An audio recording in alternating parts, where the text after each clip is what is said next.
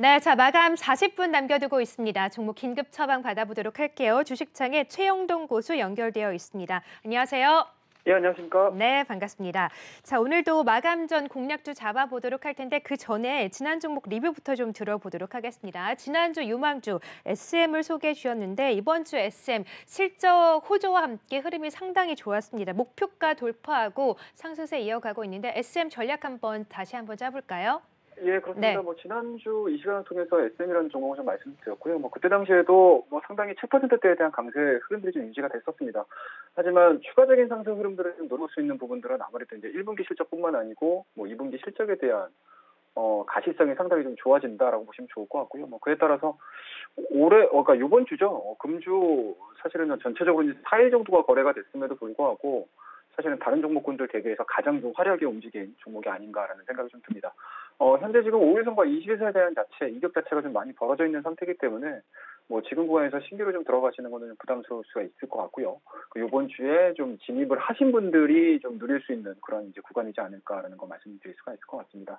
다만 뭐 SM이란 뿐만 아니고 뭐 JYP도 같이 움직여주고 있는 상황들이고 뭐 하이브라든지 뭐 초록빛 미디어라든지 YG 플러스라든지 뭐 국내 굴지의 엔터사들이 전체적으로 다 움직여주고 있는 상황들이기 때문에 어찌됐든지 간에 시장에 대한 시각 자체는 엔터 쪽에 대한 뭐 기대감들은 상당히 좀 반영이 잘 이루어지고 있다. 뭐 그렇다고 되면 뭐 저희 목표가를 지금 달성을 하고 추가적인 상승 흐름들이 좀 나와주고 있는 상태고 작년도 8월 달에 대한 고점 부분 때까지 지금 올라온 상황들이기 때문에 뭐 지금 자리에서 추가적으로 좀 올라간다는 개념보다는 약간은 좀 눌렸을 때 재공략을 하시는 것도 나쁘지 않다 라는 걸 말씀드릴 수가 있을 것 같고요.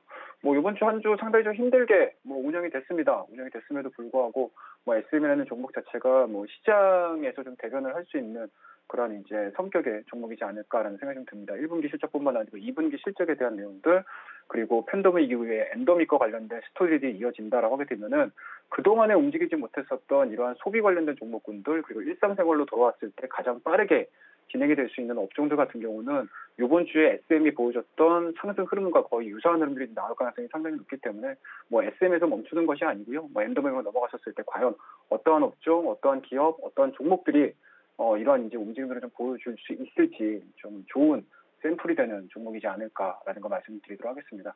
그래서 뭐 기술적으로 좀 대응을 해본다라고 하게 되면은 뭐 지금 자리는 앞서서도 말씀드렸습니다.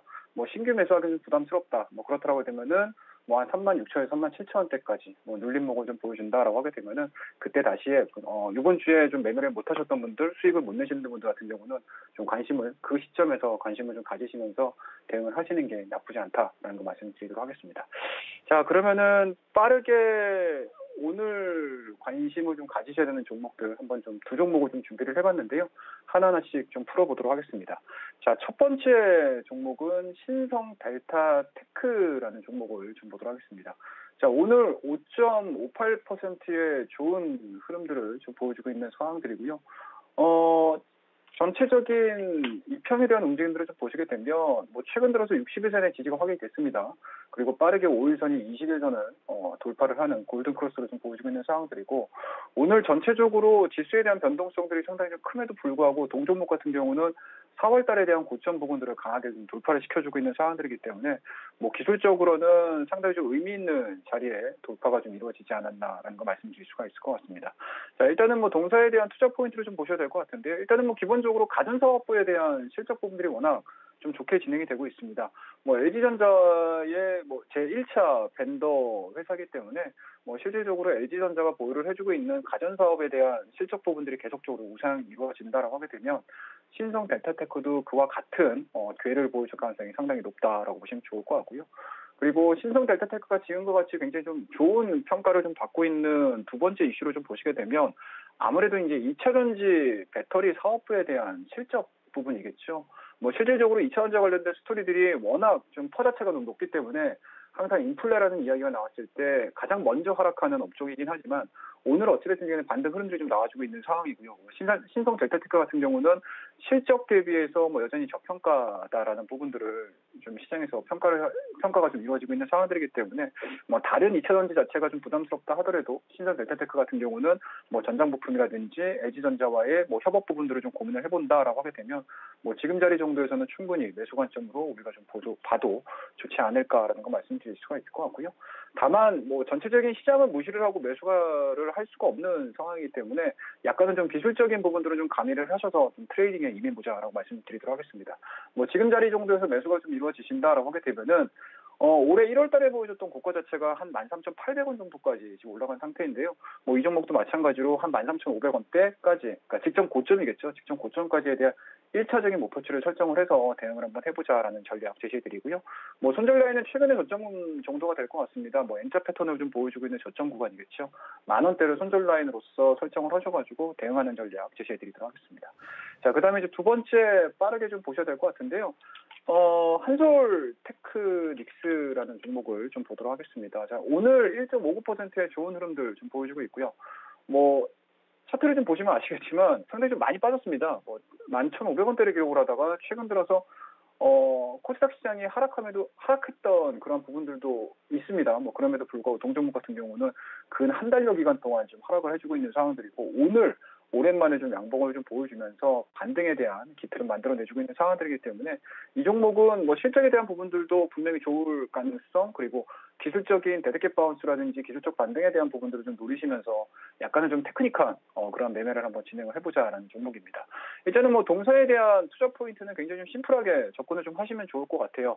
일단은 동사 같은 경우는 파워보드에 대한 실적 부분들이 가, 굉장히 좀 많은 큰 포션을 좀 차지하고 있는 상황들이기 때문에 뭐 실질적으로 파워보드가 2020년도 대비해서 2021년도에 대한 수요 부분들 쉽게 말씀해서 TV 판매겠죠. 뭐 이쪽에 대한 부분들이 수요가 좀 늘어나준다라고 하게 되면은 그동안에 좀 발목을 잡 았었던 파워보드에 대한 수요 자체도 늘어날 가능성 그리고 그동안에 LED 사업 부분들도 상당 부분 조금 어, 발목을 좀 잡았었던 부분들인데요. 2021년도에서는 이제 LED 관련된 뭐 동사의 모듈 부분들이 상당 부분은 채택이 많이 되고 있는 상황들이기 때문에 뭐 실질적으로 그동안의 실적에 대한 우려감들로 인해서 주가에 대한 탄력도가 좀 더뎠던 부분들이 2021년도 하반기 들어서면서부터는 점진적으로 해소가 될 가능성이 상당히 높다. 뭐 그렇다고 되면은 단기간에 좀 많이 빠졌던 부분들 그리고 실적에 대한 부분들이 1분기를 기점으로 해서 2분기, 3분기 좀 나아진다라는 어, 관점으로 좀 놓고 본다라고 하게 되면은 뭐 지금 가격대에서는 충분히 매수 관점으로도 좀 손색이 없지 않을까라는 거 말씀드리도록 하겠습니다. 만약에 좀 이 정도 마찬가지인 것 같습니다. 뭐 기술적으로 좀 대응을 하셔야 되고 시장 자체가 아직까지는 좀 이렇게 냉정하게 움직여주고 있는 상황들이기 때문에 뭐 단순하게 한솔 테크닉스가 앞으로 실적이 좋아집니다라고 좀뭐 터무니없는 가격대를 설정을 하셔가지고 대응을 하시는 것보다는 좀 실전 매매에 입각을 하셔가지고 매매를 하시는 게 어, 좋지 않을까라는 생각이 있기 때문에 일단은 21선까지에 대한 이격 자체가 좀 많이 벌어져 있는 상황들입니다. 뭐 그렇기 때문에 일단은 21선 정도까지의 회복을 목표로 해서 대응을 하시는 게 맞다라는 말씀을 드릴 수가 있을 것 같고요. 뭐 직전 고점인 것 같습니다. 일단은 만 원대까지에 대한 1차적인 목표치를 설정을 해서 대응을 한번 해보자라는 전략 제시해드리고요. 뭐 손절 라인 자체는 최근의 저점 구간인 8,500원 정도를 설정을 하셔서 대응을 하시게 되면은 뭐 지금과 같이 상당히 좀 변동성이 좀 커질 수가 있는 상황이고 인플레에 대해서도 상당히 좀 영향을 좀 많이 받고 있는 시장 속에서도 뭐 나름대로의 좀 성적을 거둘 수 있는 종목이라고 말씀을 드리도록 하겠습니다. 어, 남은 시간 동안 앞서 말씀드렸던 신성 델타 테크 그리고 두 번째로 말씀드렸던 한솔 테크닉스 관심 있게 지켜봐 주시고요. 어, 이번 주 한 주 고생 많으셨습니다. 종목도 좀 짤막하게 들어보도록 할게요. 그래서 다음 주는 어떤 종목을 볼까요, 고수님? 네, 저는 5월 달 들어서 자동차 부품주에 대해서 음. 어, 많이 소개해 드리는데요. 저번에 이제 SL에 그 소개해 드리고 그쵸. 많이 올라왔어요. 네, 리뷰 한번 해 볼까요? 네. 네, 아니요, 아, 리뷰까지는 아니었고, 네. 네.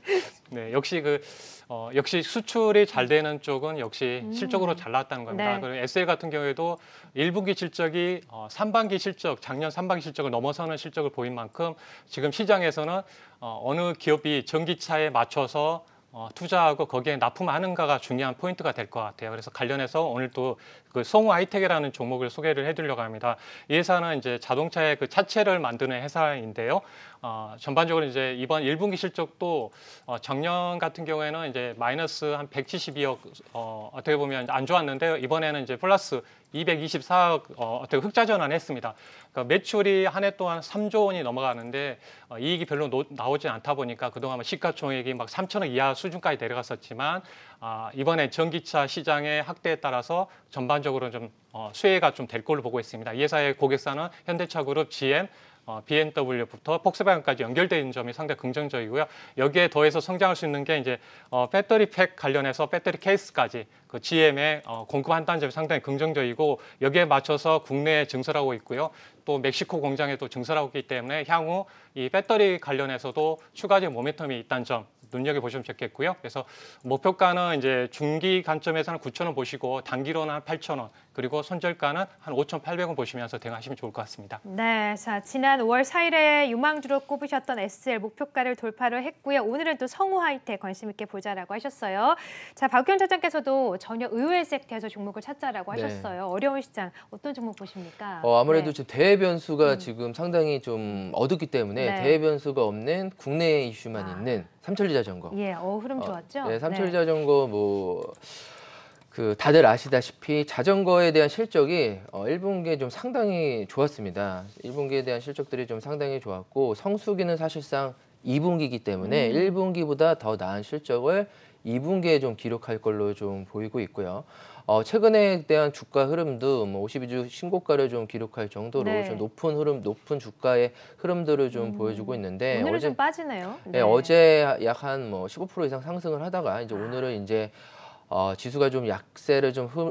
보임으로써 네. 약 5%의 좀 하락을 좀 보이고 있는데 어, 뭐 삼천리 자전거에 대한 투자 포인트는 다들 아실 걸로 좀 보이고 있습니다. 음. 국내 자전거 브랜드 1위고요. 음. 뭐전 연령층들이 골고루 좀 사용하고 있고 최근 들어서는 하이엔드급뿐만이 아니라 전기 자전거까지 그 판매도가 빠르게 증가하고 있고 천여 개의 대리점을 갖고 있다는 점들은 강점이고요. 어, 최근 들어서 뭐 쇼티지에 대한 내용들이 여러 군데서 나오잖아요. 네. 자동차도 자- 자전거도 이제 부품들이 쇼티지가 아, 나오고 있기 그래요? 때문에 수입 그 브랜드를 수입하는데 상당한 기간이 오래 걸린다고 합니다. 네. 그래서 어쩔 수 없이 못 기다리겠다, 음. 사야겠다.